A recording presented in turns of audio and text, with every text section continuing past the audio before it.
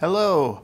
Uh, I'm so happy to be here at Fresno State. Uh, Mary and I arrived yesterday and had a chance to meet with uh, many people across the campus students, faculty, staff, alumni, uh, friends from throughout the community, and we are just thrilled to be here.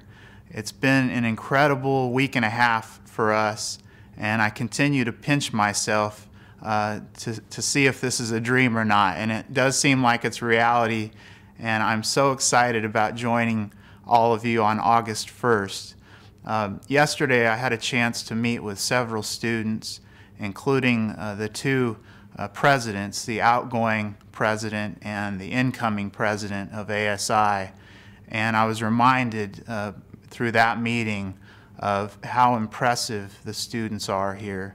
And uh, one of the students in particular, the entering president, is a first generation student from Patterson, and he's the oldest in his family to attend college.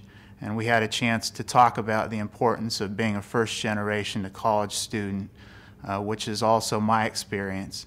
And I look forward to meeting all the students uh, this fall, welcoming them. I'm going to be an entering freshman just like them, and I'm looking forward to joining uh, them in this academic year. And to the faculty and the staff, uh, Mary and I look forward to working with each and every one of you to advance education here at Fresno State. Over the next two months, I'll be working closely with President Welty and Provost Covino and the rest of the team here at Fresno State to ensure a smooth transition so that when I arrive on August 1st, I'll hit the ground running. And so until then, um, thank you very much for all your kind emails and phone calls. It's so heartening to Mary and me to receive those.